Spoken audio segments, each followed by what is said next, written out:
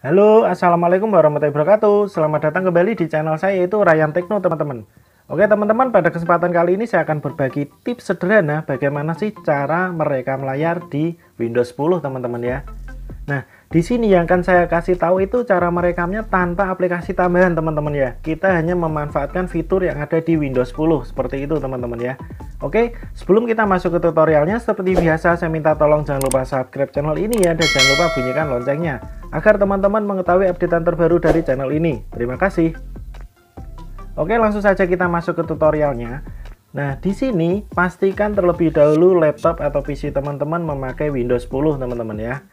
Oke, setelah itu teman-teman coba buka apa sih yang akan direkam. Misalnya saya buka PowerPoint, teman-teman. Saya ingin merekam PowerPoint, teman-teman ya, seperti ini. Saya buka blank presentation. Nah, di sini teman-teman aktifkan dulu Windows G-nya teman-teman ya atau Windows Game-nya bar game dengan cara pencet tombol Windows dan G nanti akan muncul seperti ini teman-teman nah bagaimana cara merekamnya? Teman-teman pencet lagi tombol Windows ALT dan R. Nah dia sudah otomatis merekam teman-teman. Di sebelah kanan ini sudah otomatis merekam ya. Teman-teman tinggal aktivitas saja. Misalnya mau ngetik Ryan Tekno ya. Saya saya coba. Seperti ini. Nah apabila sudah maksudnya sudah merekam semuanya teman-teman bisa dimatikan saja rekamannya dengan cara pilih yang ini teman-teman ya ini ya saya tunjuk ini ya ini tinggal di close saja seperti ini di kotaknya dipilih nah nanti akan muncul notif seperti ini teman-teman jadi untuk membuka hasil rekamannya, teman-teman pencet lagi tombol Windows G lagi ya. Nanti di sini tinggal pilih saja galeri teman-teman ya.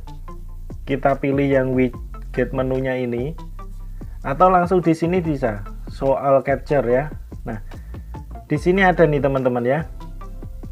Tinggal pilih saja misalnya saya ini tadi presentation 1 kemudian open file location yang bawah ini kemudian continue teman-teman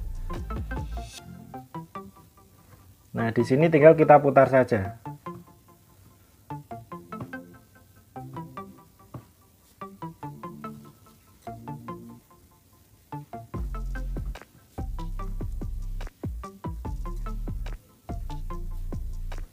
Nah, ini sudah mulai terekam teman-teman ya. Jadi rekaman tadi mulai saya putar nih teman-teman.